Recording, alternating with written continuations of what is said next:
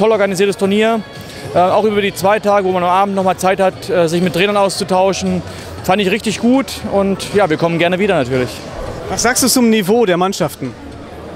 Ja, ich glaube, es waren spannende Spiele. Also ich denke, man kann aus den Regeln noch ein bisschen mehr rausholen. Ähm, ja, weil ich glaube, den spielenden Torwart hat so kaum einer genutzt, ähm, wo das eigentlich ja, immer eine Überzahlsituation gewesen wäre. Ansonsten äh, waren es schöne Spiele. Ich glaube, es war jetzt keine Mannschaft dabei, die komplett untergegangen ist.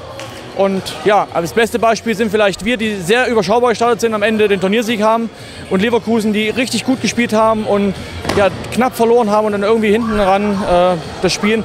Aber das macht Hallenfußball aus.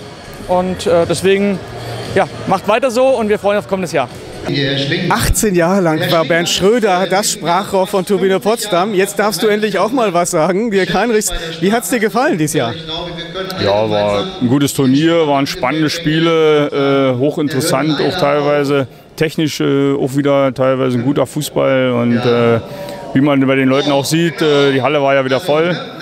Also äh, man kann eben sagen, äh, dieses Turnier, wo wir ja nun langsam schon Bestandteil sind, ähm, war wieder gut, war gelungen und äh, lohnt sich, denke ich mal, nächstes Jahr wieder zu machen. Und nächstes Jahr sind wir wieder dabei? Natürlich, wir sind ja immer dabei. Die Stimmung weiterhin auch super, war ähm, spannender Fußball, viele schöne Tore.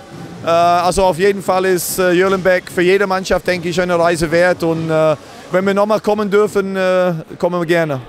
Yeah, it's a bit stronger the tournament this year. I think uh, the German teams were were, were stronger overall. Uh, so uh, a good uh, good competitive tournament. Also, you could see it was a, the final game uh, on Sunday that, that, that said who are going to the semifinals. Uh, so um, so so that was good. Like three teams, you know, in each group that was uh, yeah playing for the two semifinals. So. Um, it was a really good level and and good for us. You know, we start up with this to yeah to to get in tempo and you know think we have to think fast. We have to use our body physically and stuff like that. So so it's good.